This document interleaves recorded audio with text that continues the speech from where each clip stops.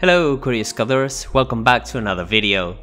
In recent episodes we saw how to install the latest version of Python on Windows and macOS machines. Before that, we went through the most common use cases for Python, who is using it within the industry, and why is it increasing in popularity over the last few years. Okay, so now what? Now that we are all set up, where do we start? Today I'm bringing you a beginner friendly example, but really powerful at the same time, that you can apply yourself at home with just your computer and nothing else. One of the most common Python applications is scripting and task automation. But you might be wondering, what in the world can I automate? Well, a good automation application is one of the most boring and repetitive tasks we do quite often without even thinking about it, and that is moving files around our computer. So today, we're gonna write a Python automation script that will clean up our downloads folder. If you're like me, you might be keeping everything you download into the same folder, and at some point you might have dozens or even hundreds of files in there. Basically, we're gonna keep our downloads folder clutter-free by moving all the files to specific folders based on the file's extensions. So, for example, all PNG and JPEG images will be moved onto the Pictures folder, the audio files onto the Music folder, and so on and most of the work will be carried out by the OS Python module, which is a way of using operating system dependent functionality. You have this module available out of the box when you install Python, and basically it can do things like listing all the files within a directory, creating and removing files and folders, renaming them, or even moving them from one place to another. Here I'm just showing you some of the module functions we'll be using in our script. So let's open up PyCharm and start writing some code.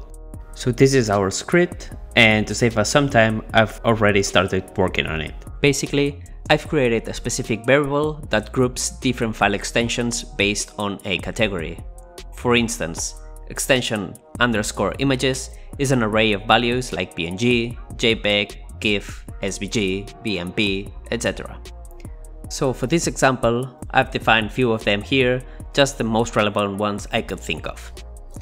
We have audio file extensions, video file extensions, general doc and compressed file extensions, and executable or installer file extensions. So again, our goal here is to move all files from the downloads folder to a target directory based on the file extension. Great, so let's start writing some code. I've structured the script in three steps, the first one being optional. First, we will create the destination folders, in case they do not exist, so we don't get any errors when moving files around. Then, we will get a list of all the files in the download folder, extract their file extension, and build a data structure mapping each file with its file extension. Finally, we'll use this mapping to decide where we want to store these files within our development environment. Great! Let's start writing some code. First, we'll create a variable called basepath equals os.path.expanduser and then tilde symbol. This will get us our home directory, where all the previous folders live. Then we'll create destination directories as an array of strings. In here we'll put the names of the folders we want to create, like music, movies, pictures, and so on. Then we're gonna loop over these directories. So for dir in destination directories, we'll get the directory path as os.path.join, base path, and then directory. And right after, we'll check whether that folder name actually exists in the path and whether it's type directory. If it's not, it's gonna create it for us.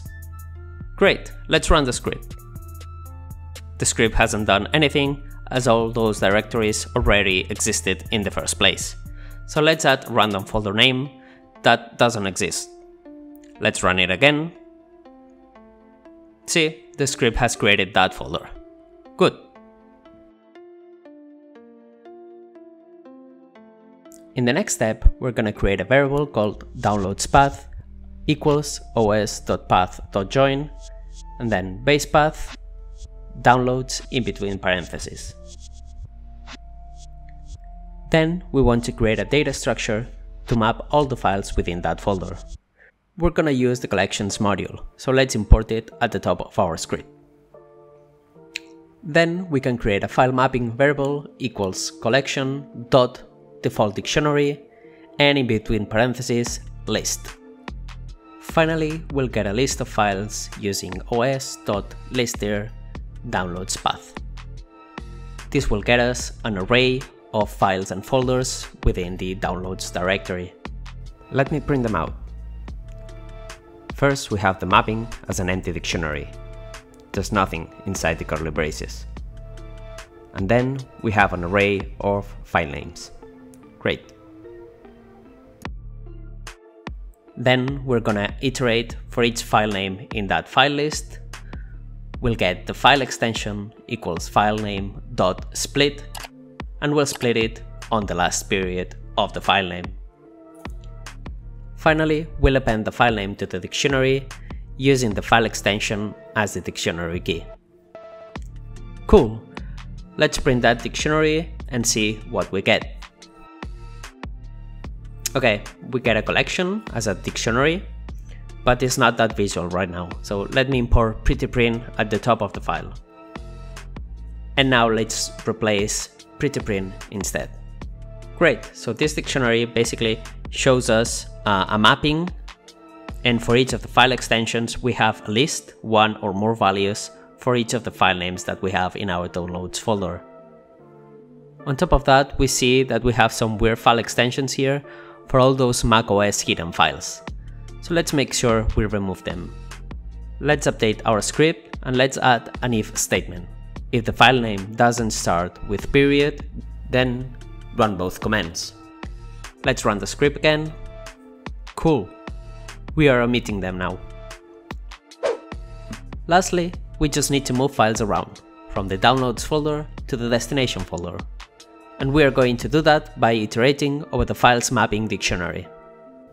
Let's write for file extension, comma, file list in files mapping dot items and let me quickly print them both. See, first we get a file extension as dictionary key, and then we get the list of file names as dictionary values. So for the first key, DMG, that's an installer or executable, right? And it is captured under extension underscore installer. We'll write if f extension is in extension installer, then for each of the files in file list, then, and now we just need to execute the moving operation. We can do that in multiple ways, but I found one of the easiest is to just use the OS rename function. And this function takes in two arguments, the source file path and the destination file path. So first we'll pass in os.path.join downloads path, comma, file. This will be the source file and os.path.join base path, applications, and file. This is gonna be the destination file. As a good practice, before running this type of commands, I always make sure I'm getting the right variable values. So let me comment this one out and print out the variable values. Great, so for each DMG file, this is the source file path, and this is gonna be the destination file path. Great, now we just need to repeat the same process for the remaining folders. Okay, the script is now completed. Basically, we're specifying a target directory where we want to move the files to for each of the extension categories that we've defined at the top of our script. So we're gonna use applications for executable files, music for audio files, movies for video files, pictures for images, documents for general docs and compressed files, and other for everything else. Okay, let's give it a try then, but before we run it, let's check again on Finder. On the right hand side, there's all the files from downloads, and on the left hand side of the screen, there's my home directory. Let me click on them and show you that these folders are empty. So, the moment of truth. Let's run the script. Okay, it's finished. Let's go back to Finder. Okay, we no longer see any documents under downloads. And on the left hand side, we see some images under pictures. Let's check all of them and see how all files have been moved to the target directories based on their file extension. If we go back to PyCharm and run the script again, it won't find any files under downloads folder and it won't do anything. Okay guys, this was a simple Python automation script that you can easily apply at home. I think this was a pretty fun exercise to introduce you to Python scripting. Let me know how you'd find it, and hopefully soon enough I will be uploading new videos with more Python applications. If you're running a Windows machine, just make sure your variables are properly set and everything should work just as fine. If you enjoyed this video, please hit the like button, turn on the notifications bell, and make sure you subscribe to the channel to give me some support. Thanks for watching, and I'll see you in another video.